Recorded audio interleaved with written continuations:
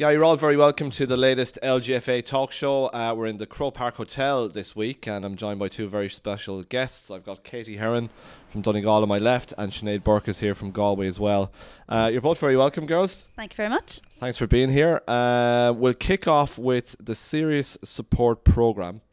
You two were in Dublin today to launch what is uh, a new programme uh, in association with ourselves, the LGFA, and the content will be delivered in schools by Youth Sport Trust. But Lidl Serious Support have invested over 125,000 euros. Um, so over to you, Katy. Tell us a little bit more. Yeah, um, it's a brilliant initiative that the um, Lidl have invested in. Um, there's 10 mentors um, across Ireland, really, and we have been chosen to go in and deliver and inspire, hopefully, um, young girls in schools across the country. Um, basically, it's to reduce the drop off rate in sport. Um, there's a lot of statistics out there now about girls dropping out at quite a young age. Um, so it's our job to go out and tell our story of, of how we've got to where we are today through sport and the impact sport has had um, positively in our lives and, and the positive impact it can have on kids. So um, we're going to be um, placed in different schools around the country to go in and deliver this program over the coming year. Um, so it's it's a massive initiative and great thanks to everyone who's who's put the work in, and we're hoping it'll be a massive success. Yeah, brilliant. Just on, on that, Sinead, obviously, the uh, Lidl commissioned a report. Um, into the drop off rate, that demographic that this uh, this program is going to target. Um, your own thoughts on the program because there is, the research has shown that there is a drop off rate, you know, from the ages of 11 to 14. So this is obviously targeted towards that. Yeah, I mean it's it's a it's a fragile time in young girls' lives. So there's a lot going on, and especially nowadays with social media and all that thing uh, all that side of things. So I think it's great, you know, for girls like ourselves to come in that they look up to maybe, or they see us on TV, or they see us on newspapers wearing the jersey, just to come in and maybe give them a little boost as and telling our story of how we got to where we are today. I think, you know, if they see more of us and they want to be more like us, they're more inclined to, you know, continue with the sport and, you know, look up to girls like this. So I think it's great. We're really looking forward to it. We really enjoy the training days.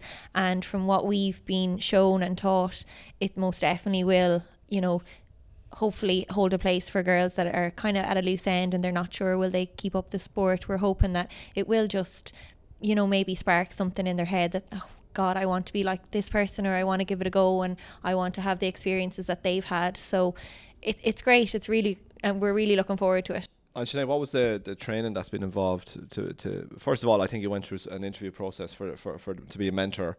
Um, but the training then is quite specific and was delivered. It's high quality content from from Youth Sport. Yeah, Youth Sport Trust spent a lot of time, you know, going through games, going through workshops, going through different a lot of different, you know, areas that we can, you know, bring our stories into life to resonate with the girls, you know, and even just little games that keeps things fun, keeps things fresh, and then of course the Gaelic side of things as well. So it's it's set out so detailed that you know it they'll only they will enjoy it so much. Oh, good luck with it. It's, it. It should be it should be really really good. Um, Sinead, you have some business to attend to over the coming weekend. Yes, we do indeed. And yeah. uh, just anecdotally, just chatting outside, this this is going to be the first time you've ever played at Croke Park, which, when you consider you've been playing since 2006, um, it's a huge day for you. Yeah, uh, we it's it's a huge day. I think we've had a chat amongst the girls in Galway, and none of us have actually had the pleasure of playing on the hello ground of Croke Park. So we are looking forward to it. We're trying not to overthink it. It's a venue at the end of the day, but for many of the girls, it's you know from a very young age, it's what you where you want to play, and it's where you visualize yourself playing. So it's great to bring those visualiz- visualizations and dreams to you know come true so we're really looking forward to it. Um, and I think Croke Park being set as the scene you know you can can't help but raise your performance on a big stage like that. So we are looking forward to it. Absolutely. 29 years of age a lot of football played Sinead you've been around since 2006 um, an all-star as well TG Ceathair all-star from last year. In terms of career highlights to get the chance to play across the road there where will that rank that will rank very high. Let's hope it'll rank even higher with a uh, with a result. So uh, it will rank very high. It's, it's something, as I said, I would have dreamed of from a very young age, and you know, given the chance for younger girls to play in Croke Park, it's brilliant. And at, at such a vital time of the year, a semi final with two great semi finals ahead, we are like it, it's great for ladies football. It's great for promotion of the game, and uh, it's we're just looking re- really looking forward to it. So just to let viewers and listeners know, it's the TG Ceathair All Ireland semi-final senior next Sunday, both at Croke Park and at Croke Park for the first time ever, which which is fantastic. Um, and Galway are playing Mayo, familiar opposition at two o'clock. Um, Sinead, obviously you know plenty about Mayo, and they know plenty about you guys. Uh, a classic draw in Castlebar, and, and you managed to overcome them at, at the Gaelic grounds in the replay. Um, it's not going to be much in this one, is there? No, there's certainly not. I mean, you know, Mayo know a whole lot about us. We know a whole lot about Mayo as well. We've played them in every corner of the country at this stage. So um, it's always a challenge, you know, between Galway and Mayo. It's always a contest. Uh, they've progressively improved throughout the group stages. You know, their performances have got better and better. So we're under no illusions. We know what Mayo will bring. We know they're, as I said, improving every game. So it's just about us at the end of the day. If we perform on the day and do the things right, um, you know, hopefully it'll all go to plan. And uh, Galway haven't been in a final since uh, since the mid two thousands as well, Sinead. So just uh, it's Yeah. near, it's within touching distance again. It is. Uh, we try the whole cliche. We try to take it one game at a time. We don't talk about the final. We don't look to, to you know We've still have sixty minutes of football to play. So it's our main focus is on Mayo. But yeah, it was two thousand and five. I think the last time um, Galway played in Croke Park. So just a few the year before I uh, joined the panel. So it is. It's huge, and we just hope that uh, a lot of Galway, the younger girls, because it's in Croke Park, they might you know get buses up. Clubs from around the county might come up and and uh, watch us play. So we're just hoping that'll be a, good day, good performance, and a good crowd. Absolutely, and we'd, we'd obviously like to see as many people as possible in Croke Park next Sunday. Katy, on just on, on the semi-finals, obviously you were in the semi-finals last year. Um, a step too far on this occasion. Obviously, looking back over Donegal's season, um, retained the Ulster title, which was which was nice. Uh, into the group stages then, and things didn't go quite according to plan for you. No, um, look, we started off the year probably on a massive high uh, at the start of the At league. Croke Park. At Croke Park, also a first time, um, quite a memorable day. Um, and then we kind of tapered through the league, and we probably ended quite disappointingly against Galway, in fact, in the semi final of the league. And we kind of pulled ourselves together again for the Ulster Championship, and we were pretty happy with our performances. Um, we beat Tyrone in the first game, and then Cavan took us to the pin of the collar after extra time in the semi final, um, which gave us a massive um, boost really in camp, and everyone was really upbeat and, and ready for the final. And, and we took that game then to Armagh um, and won our third Ulster title in a row, and, and things were going great as it seemed. Um, but the group stages no, I don't even know if, if there's words to explain what happened. Um, obviously ended extremely disappointingly. Um, we felt pretty prepared for both games, and I think we probably let the Tyrone game was probably the reason why we're not we're not in a semi final um this weekend, and it wasn't even a case of people thought we might have been complacent after meeting them again, but it's it's a dangerous place to be meeting a team twice, and they were obviously very up for that game, and, and it showed on the day they were the hungrier team, and, and we probably let that go, and that's probably what cost us. Um, Mayo then we had a deficit to make up against them and we had to win by four. Um, and it's something that's always in the back of your head during the game. You're watching the scoreboard and you always have a mountain to climb um, You feel like you're chasing, chasing, chasing. all the time and That brings its own pressure. exactly and you see you might be down by a point but in your head you need five and and that's probably something that might have got us um, during the game which is probably could have affected things um, but credit to Mayo Mayo came out and and totally dominated and and they they deserve to be in the semi-final um, I think credit to them really from where they've come from. They've had quite a massive turnaround of players like ourselves, and they've dug pretty deep and they've worked really hard to get to where they are. So they deserve their day in Croke Park. Um, but obviously for us, it was a massive disappointment and something we weren't expecting. Um, and no way um overconfident. It's just we didn't expect it. Just came surprisingly to us. So we're we were quite upset. Um, it was hard to take being out so early. It's been the first time in a long time that we've been out this early in the summer. So um, oh, listen, it's hard to take, but that's football. Um, what happens in the day can change a lot. Um, with all the preparation we'd done, but um, we just we didn't show up on the day, and it's something we'll have to learn from going forward. So hopefully we'll we'll learn from that and come back at it again next year. Okay, I mean, I suppose it takes a while to digest it first and foremost. Katy. Yeah. So you w- you won't probably debrief it until you get back together as a collective. I pro- I guess after something like that, you might just want to perhaps go and drown your sorrows and then just get the hell away from each other for a little while. yeah, that? and everyone just kind of fans away. Um, Yeah. and you've spent so much time together all year. You've seen you've seen those girls more than you've seen your family, and and after a game like that, then everyone kind of we spent that night together, and then everyone goes back to their own lives, kind of, and you might see each other now through club football, but um, it wasn't really talked about much as a group. Um, The WhatsApp has gone so quiet yeah, enough, pretty quiet. um, I watched the game back myself um, after, and I'm sure a lot of the girls did. And Uh, what what did you take from it? Um, Wa- wa- was it um, handling errors? Was it stuff that you were doing really well early in the year wasn't coming off? What were what were the yeah, I what were the key pointers that you would have taken from the, from that Mayo game? I think Mayo put a massive press on us on, on our kick out, and that was something they'd worked on, and we knew they were very good at that. Um, they done it in the league game against us as well, and it was something we had to try and overcome. Um, and that kind of just took hold of us during the game, and we kind of crumbled for a, a period of ten minutes or so. Um, and knocked a lot of girls' confidence and, and we kind of we did pick it back up and and we were kind of driving on and we just didn't get those lucky breaks. Um there was a few calls that we thought maybe we should have got um there was a penalty call we thought we might have got and just things didn't go our way and they were chipping away at points. We were talking about it after we were look I looked up the scoreboard one time and I was like 18 points. It was like the game had stood still and we didn't realize it was passing us by. Um they were just chipping at points and they were building up a quite a significant lead and we couldn't get back into that. And I suppose thinking that we needed the goal all the time and we needed those extra points that we probably changed our game plan slightly and we're forcing the goal and forcing it and we were we were feeding into their hands. They were set up and keeping the goals out and it was easy for them to drop back then. So we probably took a lot of the pressure and put it on ourselves which didn't work out to plan um but it's something we're probably going to see a lot of when we go back next year. That game will be played over and over in the video room. But um, listen, you can learn from all these things, and obviously it's a so we didn't want to be where we are, but but that's how it goes, and it's something we're going to have to look at and bring it up again because it's the only way we're going to learn. So Okay, well, it's very honest. I mean, it's it's it's never easy to to pick through the, the debris and the wreckage of a defeat when it's still when it's still pretty raw for you as well. You know, because obviously you've got Sinead on your left hand side who's looking forward to to, to, to running out next Sunday here at Croke Park. Um, Katy, but you've got a away from football. You're a teacher. You're both teachers. Um, Sinead, you're a primary school teacher here in Dublin.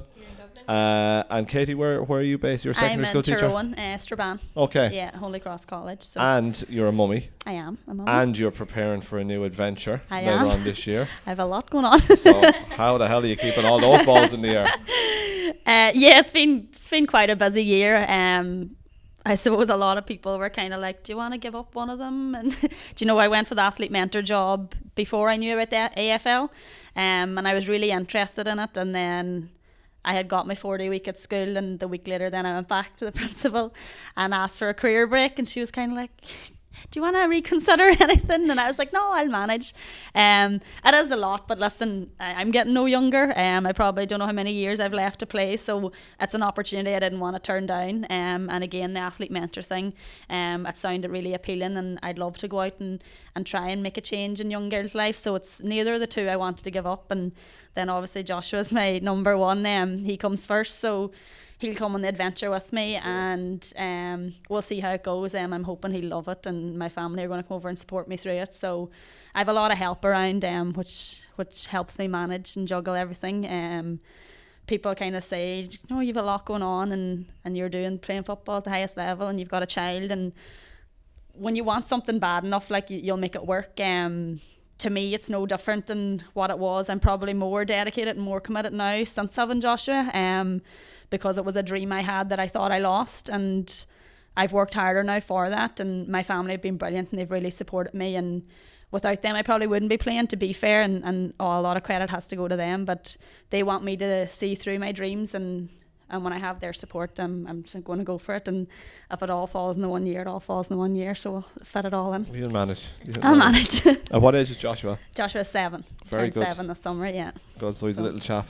He is. He is that indeed. yeah, it's brilliant. Absolutely brilliant. Um, Sinead, you're um, how the hell do you manage as well? I mean, you're up and are you up and down to Galway maybe two or three times a week? Yeah, I guess it's it's great being a teacher that you've your summers off. So I'm That does help. yeah, it does Yeah. help. So I'm a, as I say, I'm a professional footballer come summertime.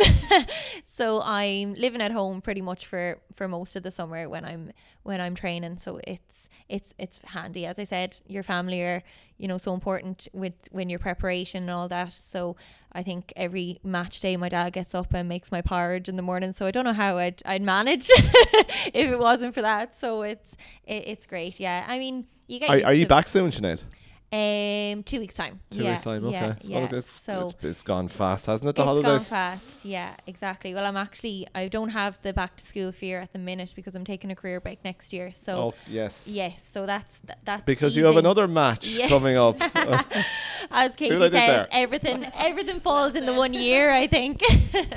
yeah, so you're getting married next year. getting married next year. Yes, in June. June. Excellent. Preparations going well. Preparations going well. Yeah, I have a great other half that's planning all the wedding, not. so uh, yeah, no, it's going well. I'm uh, getting through all the big things, so it's, I'm looking forward to There's it. Yeah. quite a bit to it, isn't there? there is a bit to it, but I've kind of put it at the back burner now, and it's. Uh, football focus for the minute, so Okay. I'll maybe touch base with that in a couple of weeks' time, hopefully. are, are you a checklist kind of person, or do you just kind of take it as it comes? A bit of both. I think a checklist is good, so you know what what what's ahead of you. But I'm pretty relaxed, as everyone will say. You know, God, you're way too relaxed. If you've a wedding next year, have you this done? Have you this done? I'm like, yeah, that'll get done. It's mm. fine. I'm I'm very just taking it in my stride. I'm not going to panic too much, so it'll So, happen. You know the church you're getting married in. Yes, You know you have the hotel. yes, You have the band, yes. and you know the food probably. The food. The food choices. Uh, not yet. No. okay. Well, no. you've t- you've ticked a few big Yeah, boxes there. ticked a few, yeah. No, I wish you well. It's it's a, it's a great time, and I wish every uh, every good much. wish with it, um, Sinead. But back to football and back to Sunday, Sinead. Um, this rivalry, I guess. Look, it's it's a natural rivalry. It's Galway against Mayo, and you play each other practically every year in kind of finals as well. Um, look, obviously, fr- from your point of view, your your your focus is on trying to promote Mayo as best you can because they're a really good side and they're a strong opposition. But all jokes aside, Sinead, what will they have learned from you know previous games against you? Because you have had the upper hand on them, but uh, I think the gap has probably closed in a little bit in recent times. closed in. I mean, they're going on some, as I said, great wins in their group stages. Their confidence is going up. Um, it's very easy, you know, to look back on video analysis, to look back on games and hone in on key areas that you know we do the same ex- exact same thing. So it's it's very easy to you know to learn from games. If you're not learning, you know, you're you're just going to stay as you are. So you have to learn what what areas you can target come in the next day and they're going to have their homework done on us we're going to have their homework done on them so it's going to be very you know as katy said it's very dangerous meeting a team twice and this is going to be our third time meeting this year fourth actually because the league as well so you know there there isn't going to be a lot between us it's just on the day i guess as the cliche goes it's going to be on the day who wants it the most and that that plays to the final whistle i And, guess and you were in a semi final last year as well, Sinead. we so what can you learn from that experience? Yeah. Like, I mean, you have to look back every year and say, what are we falling short on? What are we not doing? You know, like Galway unfortunately has the tag of, you know, you get to the big day and you underperform or, you know, th- this stigma has been with Galway for uh, the last 10 years, definitely. It, in fairness, it's probably true. And you know, uh, up to now, we haven't been performing at a consist- consistent level. When maybe we've made it to this stage, and then uh, come semi-final days, you know, it just falls short. And now, in fairness, we did stick with with Dublin last year until very close to the end, but it just it just didn't. You know, we didn't see the game out, and that that's what had happened. So. Um, it's just one of those things. You have to pick yourself up. You have to go again. You know, sport can be cruel, but I think the way the the team has lined up this year, the way we've progressed, the consistency between Tim and Mike and the management, uh, the background team, it's been flawless. And we're now working on three years. This is our third year with kind of the similar setup, and that speaks volumes for itself. So you're not starting fresh come January. You're you're continuing on what you had done the previous year. So that that's I think why we where we are now. We're learning and they're learning too. They're getting to know what sort of players we are, and it's it's. I think it's working, and hopefully it'll. Work on Sunday. Uh, Katy, just for the neutral um, maybe outlook on this game, uh, Galway Mayo. What are your thoughts? Because I, I guess Mayo are this emerging team, whereas Galway have been so you know as as Sinead says, knocking on the door the last few years. So what what are, what are your what are your views? I'll need to be pretty careful now what I say. um, no, we've been discussing it um, a lot today um, about the games at the weekend, and I think with their rivalry, it's going to make for a brilliant match. Um, it's hard to to kind of differentiate between the two teams, but I think going in their the two provincial games, I've seen both of those games and I think Galway took a totally different approach the second day on how they set up and, and they kind of nullified the the threat of the Mayo forward line, which has really been massive this year. Their forward line has been outstanding and, and has got them through many of a game. And I think Galway done a great job on the second day to nullify that threat, and that might be what it comes down to again. Um, from playing against both teams, um, I think the Galway team are super fit this year, and they, they have been um, in the last couple of years their running power is is massive, mo- more so from the half back line, I think, um, which is a massive threat for any team having players come up pace up the field. Um, and I think that'll be massive um, the next day as well. Um, sometimes Mayo tend to to push up and a lot of their game as they destroyed us when they pushed up on, on the kick out um, and they have the confidence to do that um, which is very admirable because a lot of teams would, would fear that ball over the top and step back but they do have the confidence to push up and, and put the pressure on the other team and when it works for them like it did against us they got all the joy and, and it's got them where they are now. Um, I suppose for Galway's point of view breaking that down if they're half back line are breaking that and, and running at the line, they're going to make it quite hard defensively. Um, so it's a very interesting one. Um, I do. I'm not going to change my mind now from what I've said all day. I do think Galway will take it on the day. Um, more so because of experience, and I know we're talking about how they've kind of slipped up on the final hurdle over the last couple of years, but there's a, a, day is going to come where, where they get over that hurdle and I do think um, that's going to be this weekend and it's obviously going to be hard on both both teams. Sports cruel at times, but I do think um, the weekend will be Galway's day and wish them both. You'll never know. I'll never know. Uh, I do think it's going to be a brilliant game, um, but I do think it's going to come down to whichever defence deals with the forward line the best. Um, so from seeing the replay, I think um, Galway did manage with that. Now um, Mayo's response to that could be something different, and they've dug deep. Um, they've come from from a tough place this year, and the bond that they have now within the camp is probably stronger than it's ever been, and and that's something very hard to tackle, and it's it's probably something very hard to overcome.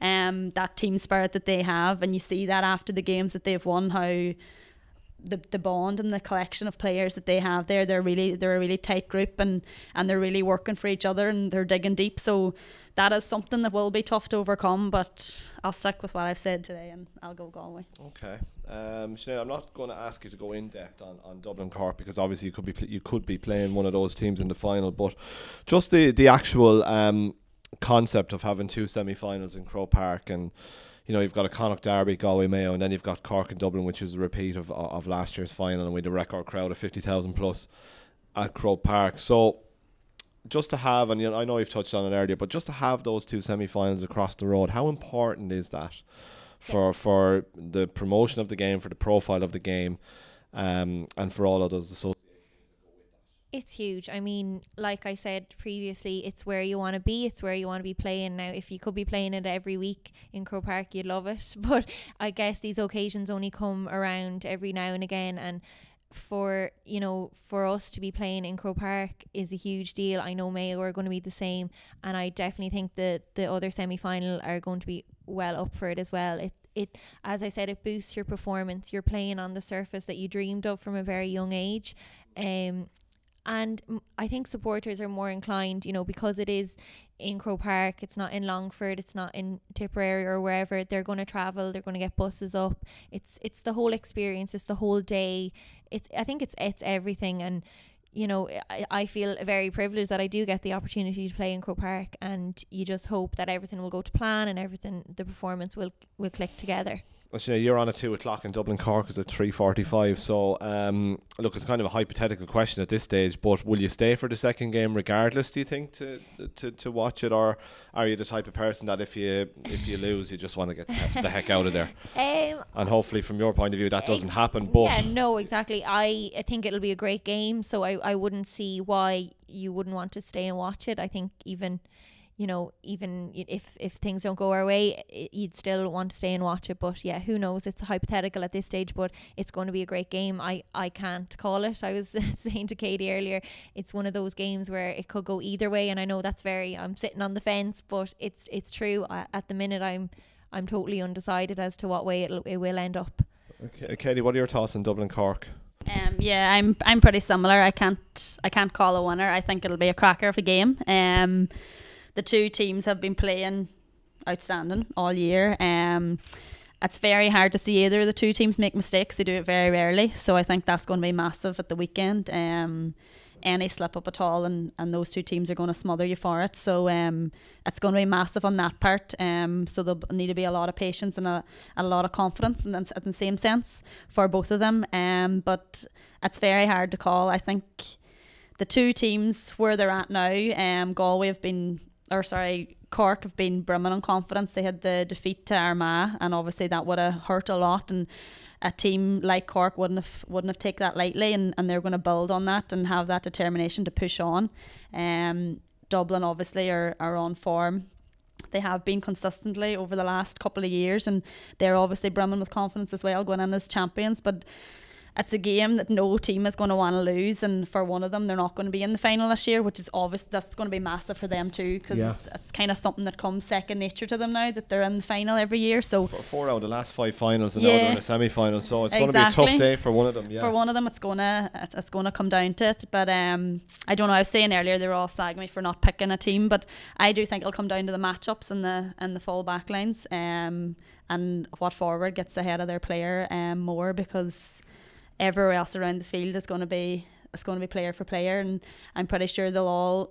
They can go toe to toe, and both of them have the experience to go toe to toe with each without having playing a sweeper. So I think it's going to be a massive day for the two full back lines, and whoever comes out on top or whoever makes that slip up, it could cost the team massively. Well, it's going to be two cracking matches. I yeah, it's going to be a great weekend. Um, tickets, uh, you can get tickets at all usual GAA ticket outlets, Centra and SuperValu. And you can also give us a shout on the office 01836 3156 info at lgfa.ie is the email. So that's that box ticked as well. Done. um, on Saturday, and of particular interest to you, I guess, as well, Katy, we have two Ulster teams in the junior All Ireland semi final. So we've got Louth are playing against Antrim, and it's Fermanagh and London.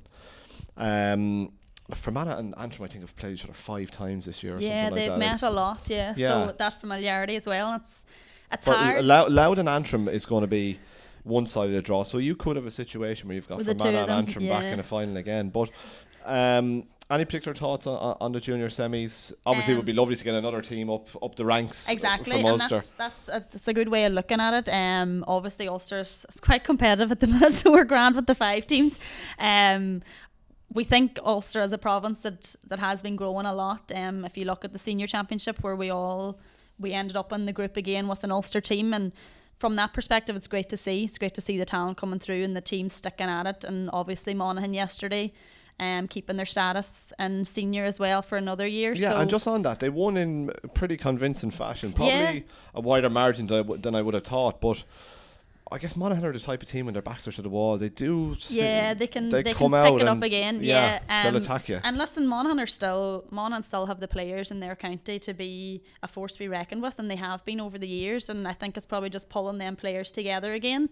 Um, but obviously they did great yesterday, and they're back in senior ranks again. So having the two teams, the potential of those coming through as well is is massive for Ulster because we would kind of have spoken about um, teams coming out, underage teams coming out of Ulster, and the success really isn't there at the minute. Um, the Ulster teams are are finding it quite tough once they move out of out of their province. So it's probably something that needs to be looked at. So when the senior level is doing well, you'd hope it would urge the younger girls to get out and, and develop from from the grassroots up, I suppose. Absolutely. It's a double header on Saturday we have in Clones, which is another good Yeah. county ground as well. Um, for the two junior semi finals, Louth against Antrim and Fermanagh against London. And everybody is trying to get to Croke Park on the 15th of September. Obviously, you'll be there next Sunday. Um, Sinead, just to, you know, just to kind of to, to wrap up on uh, on this week's show, Sinead, just your own busy schedule with the serious support program coming in, back to school, football. You're playing club football up here as well. Yeah, still playing with Ballyboden St Enda's. Yeah, Yeah, So how do you kind of manage to keep everything? I asked uh, Katy Yeah. earlier on how she keeps everything on the go yeah, I, and and uh, preparing for a wedding. Yeah, uh, as Katy said, it's it's all about if you want re- really want it, you're going to make things work. And you know, obviously, some things have got to give. You know, you've to say no to a couple of things, but it's how much you want to be involved in it. And football has been a huge part of my life for most of my life. Um, so I would I would hate to close the door on on any any side of, that of that. So it's just about management and what whatever you want to get out of it. Um, this serious support initiative, I j- jumped at the opportunity because you know, as I said, if I was a 14 year old girl and for one of the girls to come in and maybe change my outlook on sport or participation or just life in general, there can be so many messages from sport. Um, that you can gain for your life experience but it's it's all about management. Um I love playing football. It's a big part of my life. So you, you make it work you know. I look at the travel now up and down to Dublin. It's just second nature. I just hop in the car and and get on with it. It's not it's not a burden to me as some people call it a sacrifice. It's it's something I want to do so you, you don't call it a sacrifice at that. I- I'm enjoying it I'm lucky that I've been able to play up until now with no injuries and, and things like that. So it's it's it's what I enjoy. It's part of my life. It's you know you schedule it in every week, every year. So it's it's great. And a part of the 20 by 20 campaign as well as role models as well. Yeah. Sinead, so uh, maybe just to wrap up on this one, who, who would have been your role models when when you were growing up? Um, I guess the person that probably kept me at it and kept me playing that I looked up to was um, Fahy. She's Yes. playing playing over in Liverpool. She went to my secondary school and I played club football with her in Killannin. And she is just a, an amazing athlete. I still look up to her now. She's vice captain for Liverpool, which is huge. Um, and from a very young age, you know, she was 16 playing in that 2004 All Ireland. And I remember they, them coming as a homecoming back to Killannin and just looking up in, in awe, saying, "Oh wow!" She was a huge role model in my life, and I still do look up to her at this stage and what she's done in her career because she's such a professional athlete and a great person to be around. You know, she kind of just is so modest and is is just someone that you do look up to. Um, so she was a huge part of you know my uh, participation in sport and of, of course you've your family members you look up to your dad he was a huge part of why I played and why I picked up a ball. He was bringing me down to matches when I could barely walk and throwing a ball in my hand when I couldn't even catch a ball. So it's it's about your you know your team who you've got around you and the people you know lifting you up rather than bringing you down. And that's a huge thing that I, with the serious support and the youth sports trust have told us you know a lot, a lot of girls you know have a lot of uh, external factors bringing them down and that's why they don't want to be involved in sports. So it's all about the people that are lifting you up and want to see you do well and want to see you uh, perform well. And and and you know I've been lucky all throughout my sporting career that I've had a great bunch of you know a support system and they understand the commitment I give and they understand you know that you do have to say no to certain things and you know you do miss out on a, a little parts of life that at the time maybe are oh you know you're a bit upset that you're missing out on but in the grand scheme of things you know it's it's a little sacrifice that you have to make for the experiences that that I've had as a intercounty footballer. And you know you can't buy that. It's just I've made lifelong friends. I've traveled the world with it. And you know looking back I've just enjoyed every every minute of it. Brilliant. And fr- from your own point of view, Katy, in terms of role models, Um, I suppose football wise, growing up, um, I would have looked up a lot to the girls who were playing county at the time when I was coming through underage. Um, and I suppose um, Diane Toner was one of those, and Maria Devaney and Debbie Lee and that group of players. Um, Dino, who's actually up in Dublin now, it's long That's time, right, Nadine yeah. Doherty. been in Um, this chair a few times. yeah, and Aoife Hegarty, that bunch of girls, and actually three of them were water girls for us this year, and we had so much respect for them growing up, um, for all they'd done, and, and they didn't get half of, of what we get now, and they were there just out of sheer passion, and and the amount of years that they gave to their club and county was inspirational. Inspirational to us as as young girls growing up, and we just really looked up to them and everything they done and all the successes and failures they had. We followed and we aspired to be players like them, and having them come back and then to do water for us there over the last couple of years was brilliant. Um, having them on the line, the support that they gave was was just massive, and, and they joked about it, but it was it meant so much to us um, to have girls like that, and the younger girls coming in didn't know who they were, and we found it mad. Like that, they were such influential players in Donegal and gave so much to their county that the younger girls didn't know them. Now there's a big age gap, but um for me they were they were massive club level county level they were just girls that that you wanted to be like um and I suppose coming up through the ranks then this wasn't in recent times she's probably the same age as me Briege Corkery um I just think she's just a total athlete like she's a machine um and she would have been had a lot of to do with where I've got to today. Um just the way she plays, the way she trained, everything she'd done. I just thought she was such a,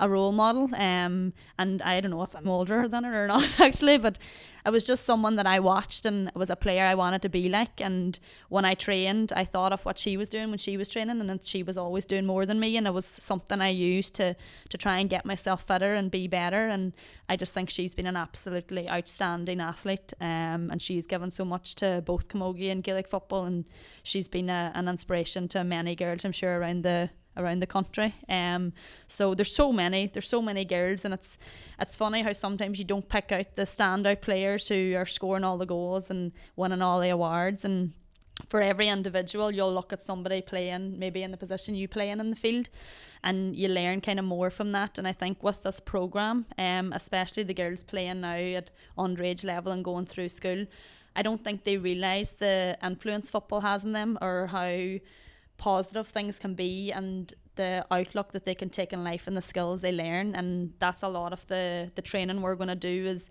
is working on values and skills that you learn within sport. And when I started my career as a teacher um a lot of the skills that I would have been asked in an interview I only realised after related back to football and that's where I learnt them all. Your communication skills your leadership your showing initiative you learn all that on the field.